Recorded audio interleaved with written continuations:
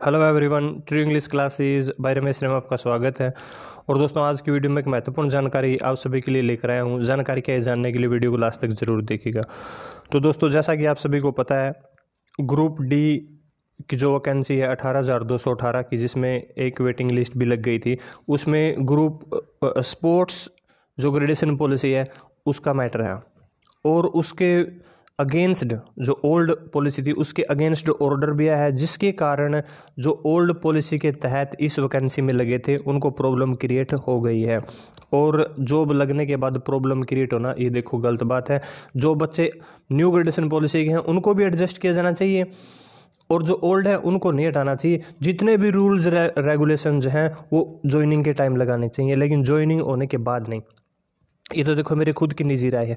अब जो group D जो ओल्ड पॉलिसी के तहत है, उनका जो प्रदर्शन है लगातार तौर पर जारी है, उन्होंने क्या कुछ मांगे की है वो सारी इस वीडियो में आपको दिखाने जा रहा हूँ। तो लीजिए शुरू करते हैं आज की वीडियो। तो आप यहाँ देख सकते हैं, मैं आपको दिखा रहा हूँ। खेल कोटे से जो भर्ती ग्रुप डी के कर्मचारियों ने किया प्रदर्शन, उन्होंने प्रदर्शन किया है और क्या कुछ कहा है कौन कौन वहाँ पे शामिल था, ये सारी चीज़ें इस वीडियो में आपको दिखाने जा रहा हूँ।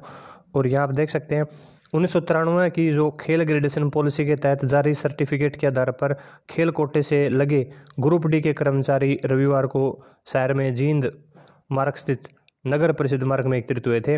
कर्मचारियों ने आरोप लगाया कि सरकार उन पर 2018 की खेल ग्रेडेशन नीति लागू करने पर उतारू है, जिससे 1518 में से करीब 1000 कर्मचारियों की नौकरी खतरे में पड़ गई है। कर्मचारियों ने प्रदर्शन करते हुए सरकार से उन्नीस की खेल ग्रेडेशन पॉलिसी के तहत उनकी नौकरी को सुरक्षित करने की मांग की है। प्रदर्शन में सर्व कर्मचारी संघ और हरियाणा विद्यालय अध्यापक संघ के नेताओं ने भी भाग लिया। सर्व कर्मचारी संघ की गोहाना इकाई के सचिव सुरेश यादव ने बताया कि पंजाब एंड हरियाणा हाईकोर्ट द्वारा उन्नीस सौ तिरानवे की जो खेल ग्रेडेशन पॉलिसी के तहत जारी सर्टिफिकेट को अमान्य करार दिया है। इसके बाद सरकार ने 25 मई 2018 की खेल ग्रेडेशन पॉलिसी के तहत ग्रेडेशन सर्टिफिकेट देने की मांग की और ऐसा न करने पर सेवाएँ बर्खास्त करने के नोटिस जारी कर दिए हैं, जो कि भाई जॉब लगने के बाद एक दुखद पल है, चाहे कोई भी हो, चाहे हम हो, चाहे कोई दूसरे हो। यानी जॉब लगने के बाद हटना गलत बात है, जितने भी रूल रेगुलेशन हैं ज्वाइनिंग से पहले लगने चाहिए। और जो भाई सही हैं, न्यू ग्रेडेशन पॉलिसी के तहत जो हकदार हैं जॉब को, जॉब के, उनको भी एडजस्ट किया जाना चाहिए। ये सरकार का काम है।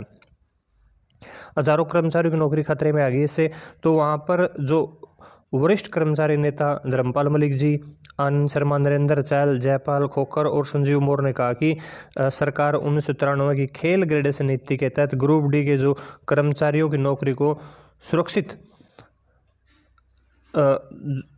जो सुरक्षित करे, अन्यथा सरकार के खिलाफ आंदोलन का मोर्चा खोला जाएगा। और वहाँ पर प्रदर्शन में श्वेता डूल, सुमित लठवाल, नरेश खंडेलवाल और महिला कर्मचारी नेता अनिता ने भी अपने विचार रखे। तो देखो दोस्तों, अपने हक के लिए प्रदर्शन करना ज़रूरी है, जो कि ये सारे कर्मचारी लगे हुए हैं तो इस वीडियो में यही जानकारी देनी थी। जानकारी अच्छी लगी चैनल को सब्सक्राइब कीजिएगा, बेल आइकन को प्रेस कीजिएगा, ताकि मेरी हर वीडियो का नोटिफिकेशन सबसे पहले आपके पास पहुँचे। Thanks for watching thank you good bye